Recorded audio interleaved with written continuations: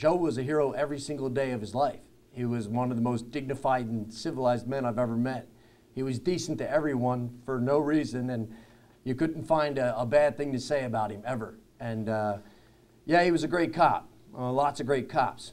Uh, it goes it goes beyond that. He was a great man. So I say Joe was a hero every single day. I believe that in my heart and uh, in my soul. And I'm grateful that we're recognizing him today. And I thank the folks that put him up for this award. And I don't think there's a more fitting person to receive that award. But he deserved it no matter what.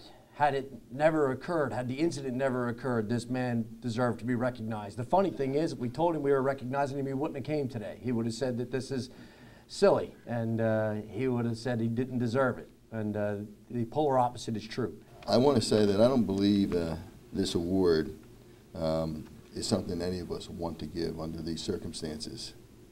It's something that has been afforded us the opportunity to give to recognize an individual who has sacrificed his life for the benefit of us. But I truly believe, Kathy, that the medal that you were given is not a medal that is meant to sit on a desk, but just to sit on a table. I'm hoping this will be seen as a living memorial.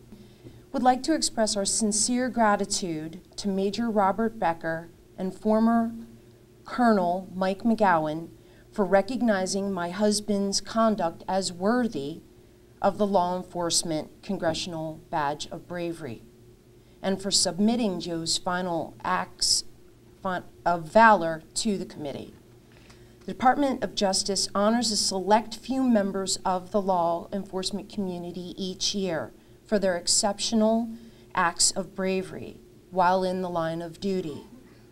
The Szczerba family would like to convey our genuine gratitude to the Department of Justice for choosing Joe as the recipient of this award.